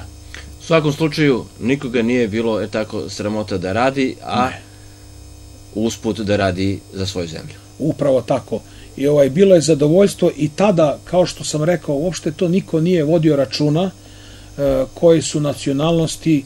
Mi smo imali, ja sam bio u nekim brigadama gde e, su bili sastavljene, primjer radi brigada 25 ima iz Beograda, sastavljena od 20 gradova iz stare Jugoslavije. Znači, jedan, dva iz nekog grada, najviše tri, možda tri Beograđana, ostalo budemo jedan, dva iz nekog grada. Ja sam bio tada, tri puta sa, sa tom brigadom bio jedini jagodinac. Normalno, prvi put je bilo teško doći, sasvim slučajno, a posle sam dolazio po pozivu. Znači, verovatno zaslužio si i onda sam sebe uveo u te vode i onda sam bio kod njih tri puta. Ovaj, e, bilo je e, tog druženja da uopšte nismo obraćali na nacionalnosti, na da li toliko je bilo zadovoljstvo se družiti s tim ljudima. Da se desilo da neko vraćan sa akcije? Bilo i toga. To je bilo, ali sporadično. U našim brigadama toga nije bilo. Bilo je u drugim, ne sada da ja štitim, nego ja bar znam da nije bilo. Ovaj, desi se ako su to bila neka opijanja, tada droge nije postojalo, da iskreno kažem, ovaj da se neko to koristi kao što to danas da kažem zastupljeno u nekim e, sferama našim e, da napravi neku tuču ili nešto dešavalo se videli smo ljude koji su vraćeni desilo se ali se situacija kontrolisala uvek uvek e, znalo se postojalo je pravilo ujutru ustajanje u 5 časova 5.00 nameštanje kreveta do 5.15 postrojavanje ispred zgrade gde se spava spavaonice odlazak na fiskulturu U 5.30 počinje fiskultura. Nema, ne možeš, nećeš. Zna se ko ne izlazi ujutru na fiskulturu. Onaj ko je na poštedi, ko ima lekarsko uverenje. Dođe glavni FIS, znači čovjek koji je zadužen za fiskulturu iz štaba akcije, broji koliko nas ima. Ko nas ima 50, ima 46. Ko, koje su to četiri koje nisu došla? Moramo da dokumentujemo, znači, tu je kraj. Rade se vežbe 15 minuta, iza toga se vraća nazad, E, sređivanje kreveta, oblačanje, spremanje, 6, 6 i 15 već smo u trpezariji. Doručak do 7 sati, odlazak na trasu. Trasa je znači radilište. Od 8 do 14 je bilo radno vreme. Marenda ili užina, kako smo marendu zvali ranije, sadašnju užinu, već kako se zove, obično je bila između 9 i 30 do 11, zavisi kako se rasporedi, kako je obim posla, koliko je težak posao, koliko treba tu hranu, jednostavno kakav je doručak bio. Posle toga kad se marenduje pola sata, odlasi se na nastavak radilišta. Završava se posao, 14 se kreće nazad u naselje, nekad se putovali pola sata autobusima, sat, sve zavisi, nekad dođemo do 16 časova. Odlazimo na ručak ili e, na kupanje pa na ručak, zavisi kako brigade stižu. I imamo takozvani popodnevni odmor. To je negde do 17, 17.30. Posle toga počinju te pripreme za povečerje, pardon, za e, večernje aktivnosti, odlazi se na večeru, čitaju se rezultati pre večere i od 20 i 30, 21 počinju te e, večeri druženja, e, razni gosti su tada bili, da li su to zabavni narodni pevači, znači estradni umetnici, grupe, da li je to bilo veče poezije ili nečega sličnog. I, dakle, organizovan kulturni život. Baš tako. Povečer je u 22. Kraj. Otvira se muzika preko razglasa za 22, svi moraju da budu u spavonicama. Normalno da nisu svi uvek odlazili na vreme, ali znalo se da ne može da se pravi u, u naselju nereda. Subotom je to bilo u 23. Takođe smo imali organizovana odlažanja nedeljom poseta. Ako smo bili u Beogradu, odlazili smo u Zološki vrat ili se odišlo ovde, onde, znači na neku utakmicu bilo je. Čak smo i postajali članovi Crvene zvezde, ako sam ja već zvezdaš, na primjer, da dobijemo besplatnu onu kartu, karticu da, i tako dalje. Eto, znači organizovano. I za to se živelo. I tih deseta godina koje sam ja bio akcijaš, stvarno sam se lepo proveo. To su dakle bile jedine povlastice, jer tako, drugo Baš je tako, ostalo novca bilo nije rad. bilo, niko nije ni tražio, a ni pomišljao, ja verujem, u to vreme. Vojnička disciplina, ali ste zato, verovatno, svi koji ste bili, već bili naviknuti na ono što vas je čekalo, a to je bio život. Jeste, baš tako.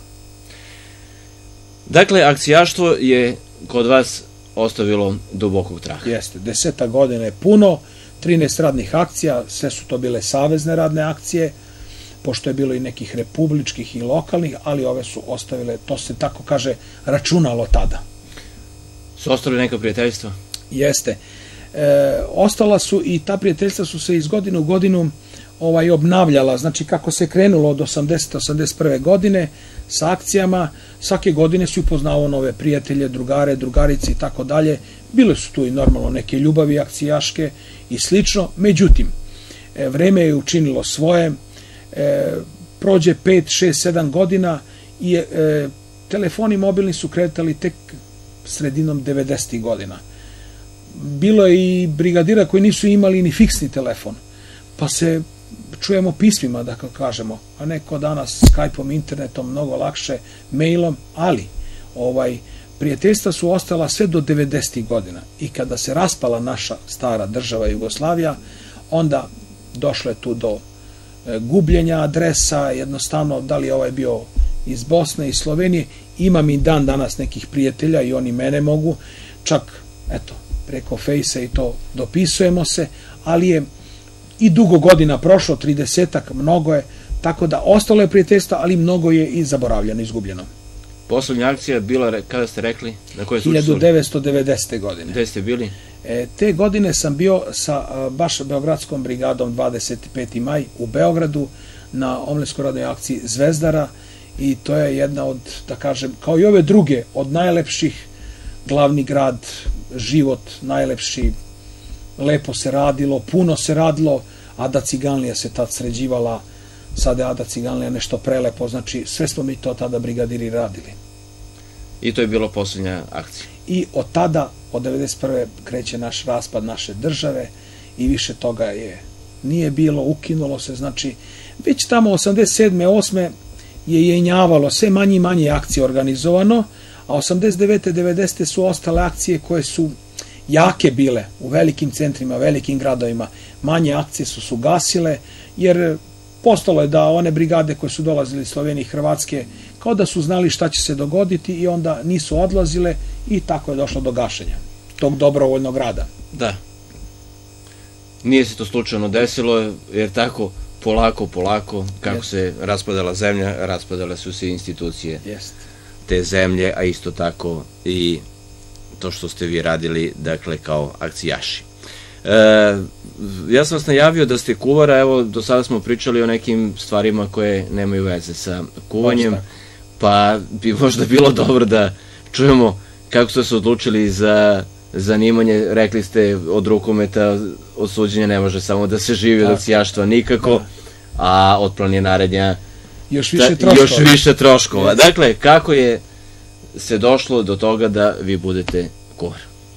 Sasvim slučajno, jednostavno, neko ko voli nešto u životu da radi, treba bi to da zavoli. Ja sam to zavolao od srednje škole, nikome nije terao, jednostavno dopalo mi se to zanimanje, imao sam priliku da to upišem ovaj ovde u Jagodini, završio sam srednju školu, kasnije sam se školovao u Beogradu, znači i sada pokušavam što više da se doškolujem jer normalno je i to pozitivno za samog sebe, sve što više učiš to i bolje.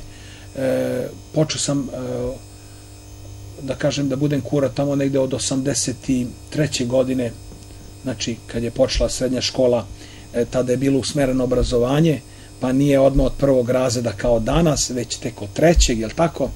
I ovaj i e, imao sam priliku da krenem da pored učenja u školi idem i na praksu. I tada je već bio hotel Jagodina. Pre... To je bilo i obaveza, tako? I obaveza dva puta nedeljno. Hotel Jagodina? Hotel Jagodina. U gimnaziju se tada išlo gde je bila kuvarska škola, jedna od zanimanja. I ovaj blizo od, čak Hotel Jagodina je držao stari palas pod istom firmom. Znao sam da odem i u prvu smenu da radim ako sam popodne u školu i u, u pre popodne da idem ako sam suprotna smena. U noćnoj smeni sam radio u starom palasu, učio da kuvam. E, jedan, da kažem, od učitelja u školi mi je bila profesorka Milomirka, koja me učila teoriji i puno mi je pomogla. I o, uvek je znala da kaže da sam bio dobar đak u tom delu, dok sam dosta naučio od tadašnjeg šefa kuhinja Časlava Miletića iz hotela Jagodine, koji mi je bio u ovom drugom delu, da tako kažemo. I mislim da nisam loš đak ispao imao sam tu priliku da se doškolujem i da sad imam priliku da već 18 školskih godina radim u tehničkoj školi u Despotovcu i predajem u struci ugostiteljskoj u zanimanju kuvar, gde sam i godinama i razredni starešina i predajem to kuvarstvo i praktičnu nastavu i vežbe, znači teorijski praktični deo, što u učionici u kabinetu, obiđem decu na praktičnim nastavama gde su u lokalima, u objektima i tako. Dakle, vi ste sada profesor. Baš tako, kako kažete. Ali radite aktivno tako i kada je u pitanju kuvanje. Obavezno, to se ne ostavlja, to je moj početak, to je moja jedna velika ljubav prema tom, da kažem, e, ne hobiju, radu, poslu, ovaj, pre prosvete, normalno nisam mogao ni ja da dođem do prosvete tako lako, ali sam bio kuvar, pa sam e, određeni broj godina bio šef kuhinje hotela Levač, u Rekovcu, koji je tada isto bio pod upravom Palasa firme, pa jednog leta Palas firma je imala restoran Jagodinu u Rafailoviće kod Bečića, tu sam proveo celo leto, bio sam šef kuhinje, na primer, i tako dalje. Znači, e, jednim e, svojim velikim radom, ljubavlju prema tom poslu, i sada to đacima kažem, da bi bili ovo što volite da budete, morate da volite. Znači, ne može on tamo da kuva i da secka nešto i da e, koristi nož i nešto ko to ne voli. Znači, da bi sa secko to mora da bude i obazriv i da zna šta hoće, da bi spremio, ne može da sprema samo za sebe. Mora da spremi za gosta. Znači, ako ja volim slano ili neslano, ne može tako. Mora da bude u korektnom ukusu, da može svako da proba. Pa ako nije dovoljno slano, dosolit će ga. Ako je preslano, ako kuvar voli, onda to već nije dobro. Znači, mora da prati nove trendove u gastronomiji, mora što više da se obrazuje i tako. U svakom slučaju, vi ste dakle imali e, jedan e, logičan put, niste vi slučajno, što se kaže, došli tu gde ste došli. E, šta ste radili u Beogradu, to je ostalo nedorečeno kada je u pitanju školovanje? Školovanje, znači završio sam tu višu školu i, ovaj, i e, imao sam priliku da posle se vratim na rad u hotelu e, Levač u Rekovcu i ovaj desilo se posle par godina e, da se pojavilo mesto za profesora praktične nastave i teorijske nastave u tehničkoj školi u Despotovcu. Ja sam konkurisao, primljen sam i do dan danas tamo radim. Mm, eto tako, trudim se da sve ovo znanje koje imam, e, da prenesem na te učenike i mogu da kažem da uspevam. Imam dosta broj đaka koji želi da dođe kuvare.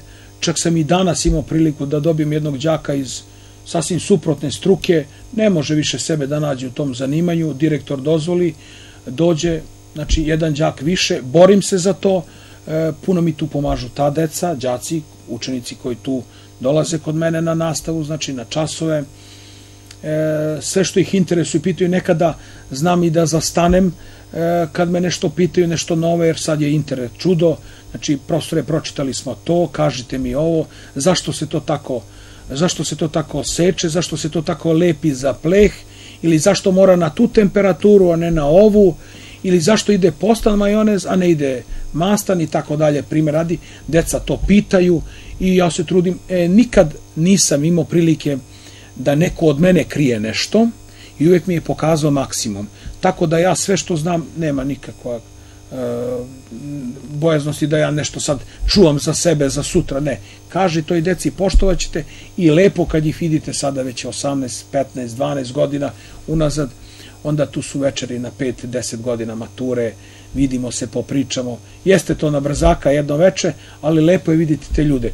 Već neki su sada roditelji, dovode decu, nekima će deca možda za par godina doći u kuvare, opet kod mene. O, ponovo kod vas. Da, i što je to još, eto, tako interesantnije.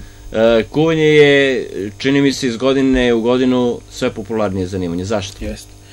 Pa da vam kažem, e, prvo na izvoru si hrane. Danas e, naš čovjek voli da proba sve od hrane. Znači, dolazimo u situaciju da e, moramo sve više i više da spremamo zdravu hranu, jer e, dolazimo u situaciju da loša hrana ubija čoveka. Pored toga, kad ste sad napomenuli, ja sam to kuvarstvo koje sam zavolio, da kažemo, iz mladosti, na tim, ajde da se vratimo samo na opasku jednu, na radnim akcijama znao po hiljadu, hiljadu i po palačinki da spremim od popodneva do ujutru na dva ili četiri tiganja na rešojima, znači Čekajte, vi sami to da spremite? E, uz pomoć tu nekih drugarica, drugara koje će da mi pomognu oko mazanja palačinki, preklapanja i tako dalje, a nije mi bilo, e, nisam dobio, na primjer, žuljeve od krampa ili lopate, a dobijem žuljeve od tiganja i od toplote. Bilo i toga, na primjer. Ali ta ljubav, me je ostavilo u ovom poslu. Mnogo ljudi danas završi i zanimanje kuvar, konobar, mesar, poslastičar, pekar, ali ne budu u tom poslu. U našem poslu dođu ljudi koji su druga zanimanja završili. Znači, e, poenta je da moraš da voliš zanimanje koje voliš, e, koje želiš da voliš, i onda da radiš u stvari i ako se time ne baviš iz ljubavi, onda je to teško. Normalno, e, sigurno da je tu i bitna finansijska e, potpora, e, kao što ste i postavili pitanje, sada je, na primjer, popularno naše zanimanje kuvar je među prva tri zanimanja u Srbiji. Da li ove godine na upisu najviše kuvara bilo interesovanju ili možda medicinskih sestara ili zubnih tehničara? Znači, kuvari su prvo, drugo ili treće mesto. Takođe, velika popularizacija kuvarskog posla je upravo odlazak u inostranstvo. Ko zna jedan, eventualno dva jezika, a kuvar je, može puno da postigne. Znači, nema veze da li sve zna iz te kuhinje što je uči u srednjoj školi ili na višoj školi, znači sada visokoj školi. E, bitno je da on želi to da radi. Odlaskom u inostranstvo e, dobija priliku da pokaže možda neku nacionalnu kuhinju iz svoje zemlje. Lako će on da nauči italijansku kuhinju, mađarsku, nemačku, francusku, špansku, to uopšte nije nikakav problem postoji recept, pročitaš ga par puta, jedno, dva, tri puta se uradi, grešaka mora da postoji kao u svakom poslu. Takođe, rad kuvara na brodovima je velika stvar. Kruzeri su danas e, zakon, po hiljadu dve ljudi bude na kruzerima. Zamislite tri obroka spremati, to je 5-6 hiljada obroka dnevno. Tu je masa ljudi koji radi. Imate kuhinje gde radi 20, 30, 40 kuvara u smeni, zato što je nemoguće, e, kao i konobar, može da posluži 20 do 40 ljudi, možda može oni 100, ali je nemoguće toliko kvalitetno odraditi. Taj kuvar možda može da spremi kad radi u vojsci u, ili u nekom ekspres restoranu u kazanu 200 porcija, 300, ali on mora tu da bude non stop pored tog kazana, jer i to može da zagori, da bude loše, a da bi bilo nešto kvalitetnije, mora da bude pored njega. Dakle, normativi se znaju. Normalno. E, e, Ste li zadovoljni svojim učenicima? Jesam. Ovaj, mogu da vam kažem da oni mene vole, volim i ja njih. Bude tu i problema kad su nemirni, kad prave neke problemčiće sitne, a sve to u e, vreme njihovog školovanja, to deca dođu sa 15 godina, pa se setim kakav sam ja bio u 15 godina, pa mi nekad ne pojmimo nešto zašto to tako prave, pa da li su to sad neke tamo sitnice, gluposti, E, danas sam imao priliku, ako mogu da pomenem, e, posetu direktora na času, gde on bio zadovoljan sa mnom, sa obavljenim časom, onda ovaj poseti čas odeljenskog starešine, na primjer, gde pita da li ćemo da menjamo razrednog, Kaže, ne, nikako i tako dalje. E, dobro, verovatno da oni to misle što kažu. Međutim, desi se da deca ne vole raznog starešinu ili ga ne obožavaju svi. Uvek bude, ne kažem, pa i verovatno i mene neko negotivi. Da ne Ali ja, ja moram da vas pitam ono što bi vas sigurno učenici pitali, bar neki. Da. E, ko kuva kod vas kući? U principu, kada sam ja kući, trudim se da to što treba spremim što se tiče kući.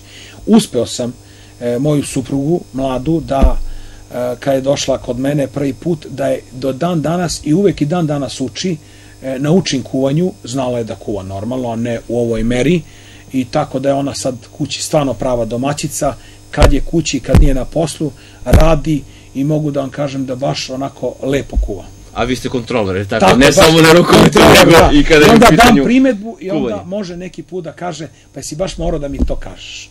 A zašto da ne? E, vi ste otvoreni, to je ono što je iskreni, jer tako Da. ono što je najvažnije. E, ne samo da radite sve ovo što ste rekli, da radite kada je u pitanju kuvanje, već ste bili i gost e, jedne emisije koju smo mi vrlo rado gledali, a ja predlažem da pogledamo insert iz te emisije, to je emisija Kuvati srcem, pa da vidimo detalj.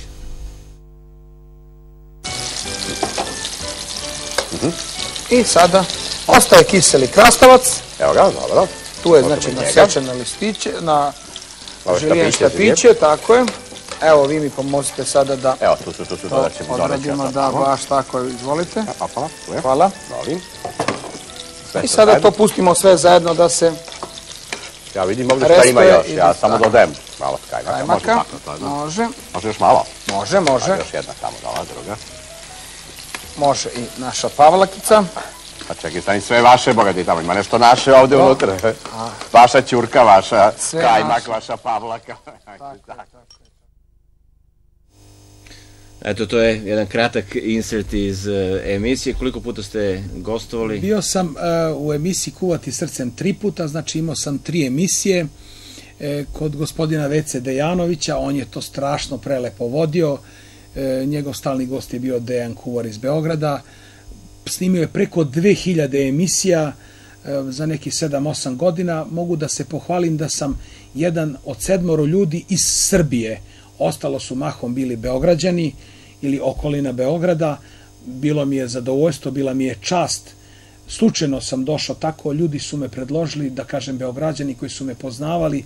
Verovatno sam ih ja, da ne kažem zadužio, nego su možda želeli da mi pomognu i ovaj, puno mi je to tad pomoglo i tri emisije dan danas pokažem učenicima na laptopu pogledamo ovaj CD i tako, to je neko zadovoljstvo. Vide, dakle, e, svog e, profesora Učitelja kuvanja, što da, bi se da on to reći, da. zna stvarno da radi u Baš praksi, ne samo u tako. teoriji. Ja bih sada predložio, dakle, da pogledamo neke fotografije koje smo mi zajedno odabrali, a naravno tiču se e, svega ovoga što smo mi pričali, pa da vidimo. Može, evo. Evo ovde, evo ovde vidite fotografiju nekom začetku, početka suđenja, gde sam ja sa kolegom Jovanovskim ovaj, e, u velikom gradištu na nekom turniru.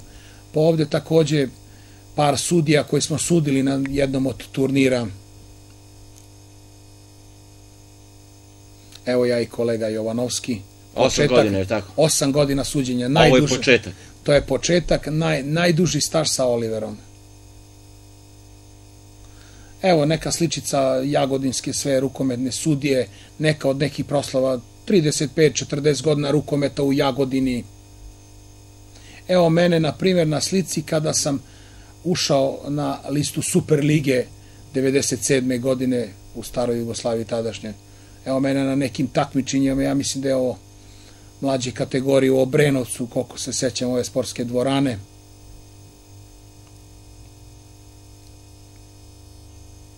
To je zapisnički sto. Ovo? Evo s jednim starim, e, sa gospodinom Svetom Pavlovićem, on nije više među živima, on je u sredini, ovaj, sa njim smo svi počeli da sudimo, na primer. Ovo je jedan poklon od Crvene zvezde posle utakmice, na primer, eto tako poklončić, mali dres. Evo ovde sam bio predsjednik zajednice sudija i na opraštanju našeg velikog rukometog sudije Velibora Velja Jovanovića dodeljujemo je tako poklon opet ovde na toj proslavi, na primjer, te večeri, sa sudijama i kontrolorima, delegatima. Rukometni radnici, kako bi se Rukometni radnici, da. Ovo su grbovi naši koje smo nosili na dresovima sudija, eto. Kako stare. su se Evo ga prvi države? grb koji je star, da kažemo, preko možda i 40 godina, a ja ga imam, eto, 30. Imamo četiri zvezdice. To je značilo druga kategorija, prva republička i savezna kategorija. Evo neka od druženja, opet tako godišnja druženja u decembru kad se završi polusezona. Evo ovde sa jednim od kolega, evo Boška Ničića, predsjednika nekadašnjeg opšte grada Zaječara, druga iz, iz kluba isto iz Zaječara, sekretara Zorana, posle neke utakmice. Evo, mene i mlađe kolege Stanislava na jednoj međunarodnoj utakmici kad vodimo vreme i zapisnik. Takođe, evo fotografije, opet neko druženje sudija delegata, znači rukometnih radnika. Dakle, ima tu i druženje, ono treće polovreme. Ima i druženje. Evo jednog od mojih poslednjih kolega, Boška Vasovića iz Kragujevca, inače isto kolega profesor geografije. Ovaj, sudili smo neke četiri sezone. Kolega Martinović, takođe sam sudio povremeno sa njim neke utakmice. Milorad Martin Stari, što bi ga po nadimku tako prozvali. Opet jedan deo kolega na nekom od turnira u Jagodini je ovo konkretno. E, ovo je već sličica e, sa planinarenja na vrhu Balkana, znači na Rili u Bugarskoj. Evo tu društvo, znači odmaramo, ovo je već slika sa Triglava, To je ono čemu smo govorili. Dakle, o je planinarenju, da. planinarenje, Evo ovo ja Triglav. mislim slika na prokletijama, znači baš kod ove porodice imali su nekoliko dece, muž i žena i tu smo pre, kod njih U prenoćili. ovoj kući pozadje. je to. tako u Bači i toj, evo ispred vrha Triglava malte ne, odmaramo malo da se okrepimo hrana.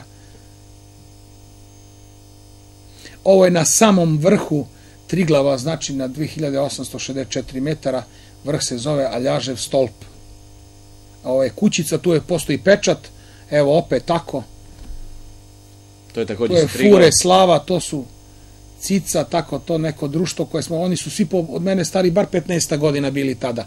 Ovo je u podnožu Triglava, e, ovo je alpinistički klin takozvani, ali uvećan ko zna koliko puta. Tu smo, evo ja sam u ovom šeširu, evo ja mene samog. Ovo je pored mene jedan španac bio iz Barcelone koji tog leta isto ovaj popeo vrh Triglava, znači ovo je u Hrvatskoj na Kleku, ovaj priprema za dalji pohod da se popnemo na vrh. To je bilo iz nekoliko gradova, evo opet nas tu priprema rančevi, naši oprema.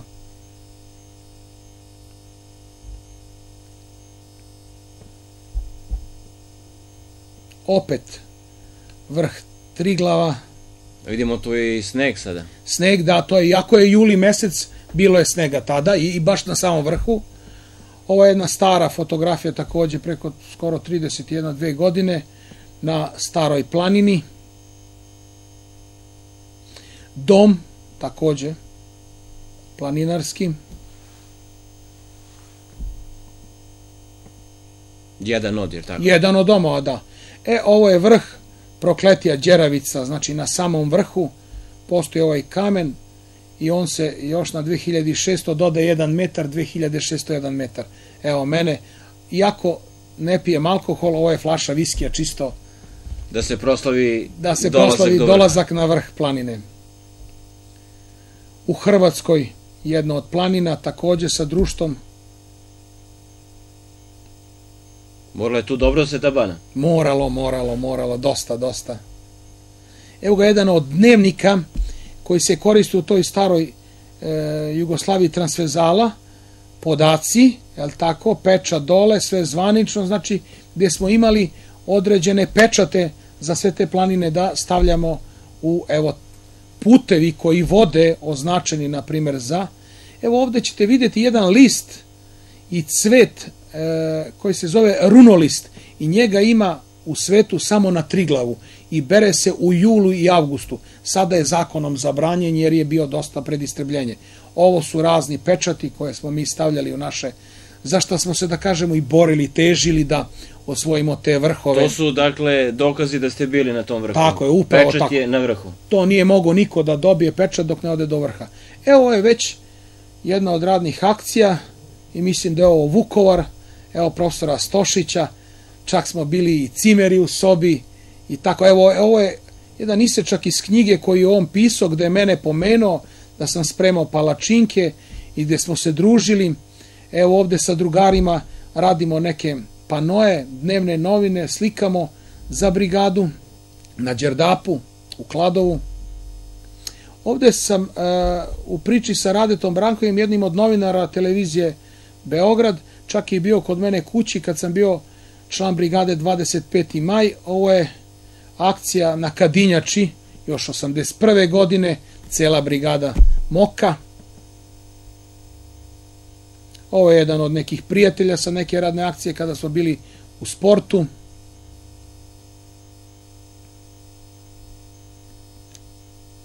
Ovo ja radim neke zidne novine, imao sam afiniteta prema tome, slikali smo to. To je isto na akciji. Da, e, ovo je na radnoj akciji na Paliću, ovaj krupni čovjek, to je kuvar i već sam te godine ja bio počeo sa kuvanjem i onda sam odlazio kod njega u kuhinji da mu pomažem. Ovo je jedno od društava znači, s kojim smo se družili iz brigade. Ovaj crnac je bio gost u našoj brigadi na toj akciji I on je došao da radi. i on je došao da radi. Evo su drugari iz, to je e, repstacija nasilja FISova koji smo vodili fiskulturu, među njima i ja, gde smo imali ekipu u takmičenju. Ovo su bili komandanti brigada i drugari sa, iz brigade, to je isto na Đerdapu. Evo, drugari rade, znači nešto sređujemo oko naše spavaonice, znači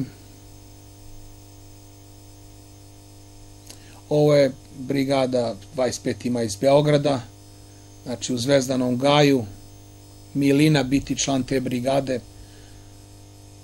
Ovo je na Delibatskom pesku, To je ona teška akcija, je tako? pa teška akcija, da. Takođe jedna od akcija u, Beogradu,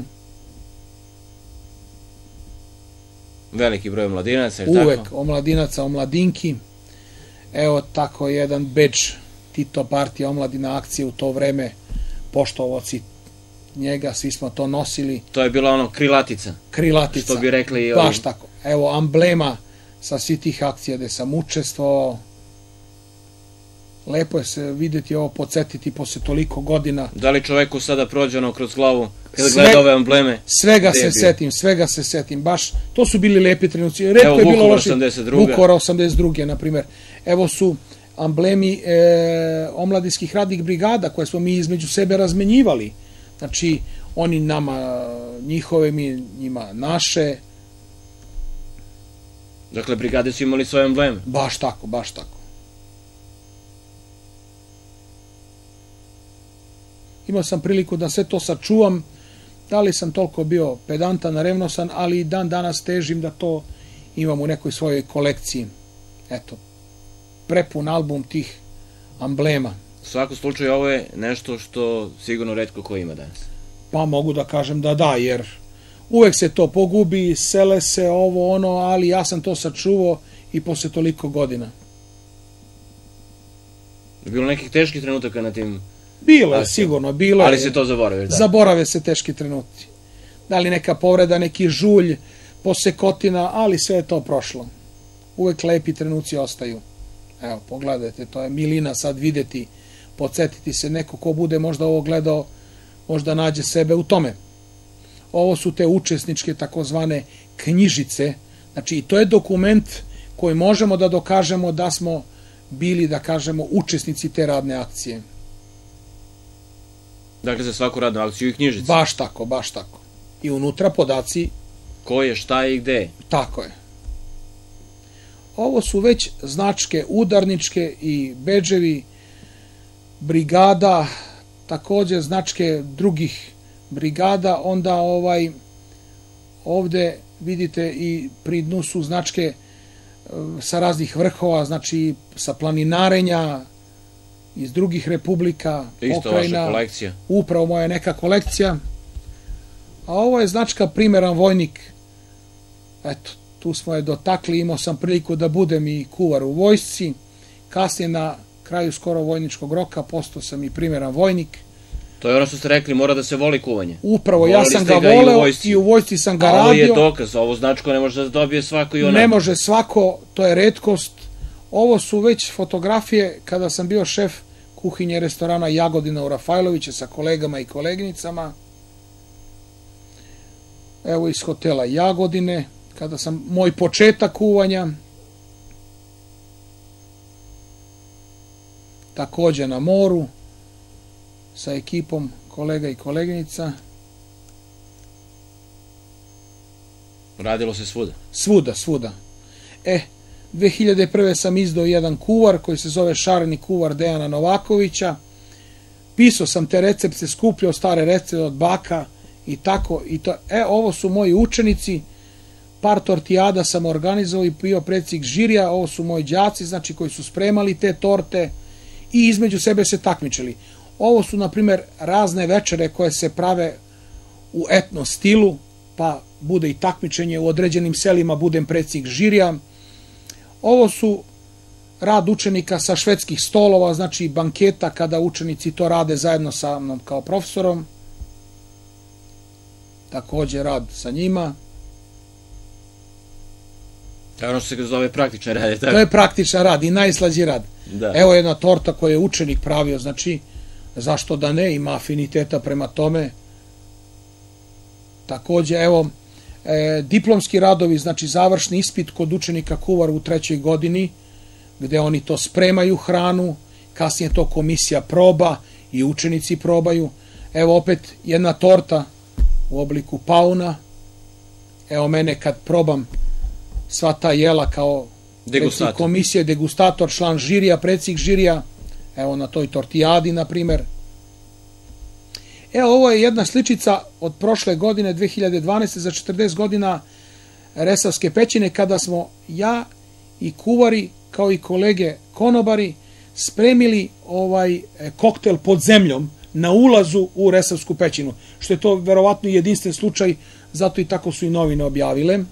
Ovo su neke zahvalnice kao za učešće u izboru, kad sam bio predsjednik žirija na tim tortijadama. Dakle, ima vas svuda. Ljudi vas zovu, Pa zašto da ne? Trudim se da u tom... vi se odazivate. Tako je.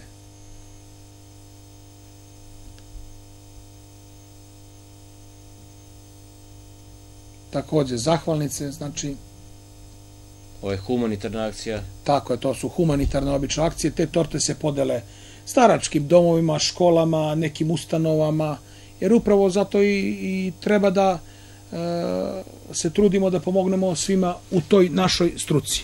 Da. Ovo s jednog takmičenja u Interkontinentalu, ali e, ne baš ono kao kuvar, nego kao lice koje je bilo ko mogao da se prijavi preko novina i bio sam čak i učesnik takvih takmičenja preko lista večernje novosti. E, tri puta sam i na takvim takmičenjima učestvovao. Intercontinental, tadašnji veliki hotel i sada, bilo je lepo. I to vama nije predstavljeno Ne, nikakav nikada problem. nije problem. A i degustatori su bili interesantni. Uvek. I sada kad odemo na takmičenjima, pa sam obično u nekim žirijima, onda je problem probati svu tu hranu, to bude i po 40-50 jela za dan, treba to izneti posle naredni dan, dva, ali dobro sve se to proba u malim količinama, tako da je to nešto, opet zadovoljstvo. Ljubav prema hrani. Ima li ljubavi prema hrani? Bilo je, sada je i uvek će biti. E, Dejan Novaković i Jogi, moram da pitam, to sam vidio tamo Da. u onom tekstu, zašto Jogi? Pa eto tako, o, uvek sam imao neku ovaj ljubav prema svim tim, e, da kažem, e, druženjima i svemu. I sam e, nadimak jogi e, dali su verovatno ti akcijaši, zato što smo se šalili, e, sad postoje e, razne te, da kažemo, priče zašto jogi, ali da ih sada ne širimo, jednostavno postoje nadimak jogi i ostao sam po tome ovaj poznati, pored mog imena i prezimena u svim tim novinama akcijaškim je bila crtica i nadimak jogi. Tako da to mi je ostalo i dan danas. I dan danas me jedan deo drugara zove po tim nadimkom, ali valjda kako vreme odmiče, ime je Dejan, pa je onda lakše Deki, Dejan i tako. Dakle, to je akcijaški nadimak. To Jeste, baš tako, akcijaški nadimak. E, kako čovjek sve ovo stigne što smo imali prilike da vidimo? Pa eto, 48 godina je za mnom, uskoro ću da napunim, znači 48, teško, normalno, mora da se radi, da se voli nešto što se radi. Videli ste koliko sam sebe uložio u sve ovo, to nije godina, dve, tri, znači krenuo sam sa svojih 14 i po 15 godina i eto koliko se to već vuče, gde sam sve bio, šta sam sve uradio, e, probao. E, pored akcijašenja i planenarenja, to je sada, da kažemo, jedna prošlost, bivše ljubavi, ako možemo tako da ih nazovemo, tu je sada moje kuvarstvo, gastronomija, znači rad sa đacima u školi, jedna prelepa škola u Despotovcu gde ovaj trudim se, ponavljam, znači da e, pomognem tim đacima ono što znam, a i taj rukomet, sport koji sam eto zavolao iz mladih dana sa 16 godina i te dve stvari uz moju porodicu trudim se da nastavim i dok me to bude držao zdravlje i duh, ja ću da se potrudim da to stane do kraja. I moram da vas pitam šta je ono što najviše volite da spremite? Pa evo neka budu ove punjene čureće grudi. Znači čureće belo meso, unutra kačkavalj i šunka, a onda se jedan prelepi sos pravi od šampinjona, šunke i kiseli krastavčića, sa ovaj malo bujona supe i ovaj to je nešto prelepo na kraju podloga dinstani pirinač ili riža, a od ozgo narendani preko ćurećih grudi e, kačkavalj na sitno na rendetu i to je nešto prelepo, što bi rekli kuvari prste da poližeš. A to me od uvek i vuklo, kao kuvar sam mogao svoje prste uvek da budu sladunjavi i slatki, a nije me neko drugo zanimanje zanimalo. Ja se zahvaljujem na gostovanju i na ovom razgovoru. Hvala vama, hvala što ste me uvažili, pozvali u vašu televiziju. Hvala vam još jednom. Hvala i vama. Hvala. Poštovani gledalci, bio je to Dejan Novaković, a vama zahvaljujem što ste bili sa nama. Prijetno.